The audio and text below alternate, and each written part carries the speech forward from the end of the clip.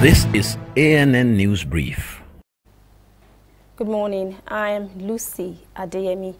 Ghana Minister of Information Kojo Oppong Nkrumah says the Ghana-Burkina Railway interconnectivity project will commence next year. He said once completed, the rail line will link Ghana-Burkina and would facilitate trade and development.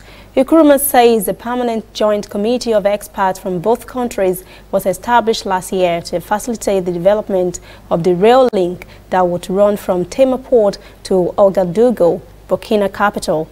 The minister spoke about the rehabilitation of the country's rail system and also mentioned that the procurement process is ongoing to develop a new standard gauge line for the Eastern Railway line with a distance of about 340 kilometers.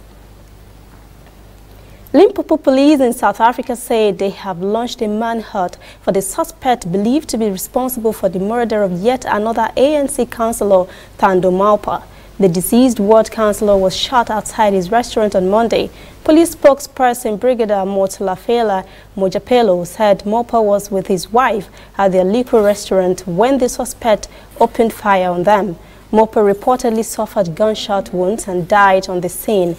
His wife was also struck by the hail of bullets, but managed to clutch onto life long enough to be treated for her wounds at a nearby hospital.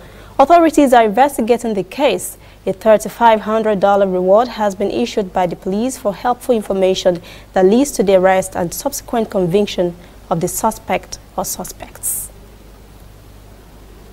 We'll be back after this message.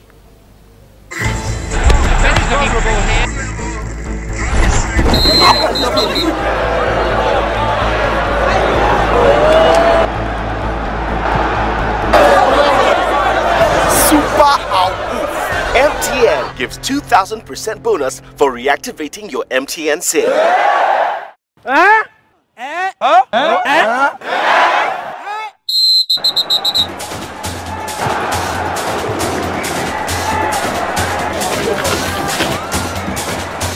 That's right. If you haven't used your MTN SIM for 45 days or more, recharge now and get 2000% bonus. That's right, 2000% bonus for your first recharge of every month.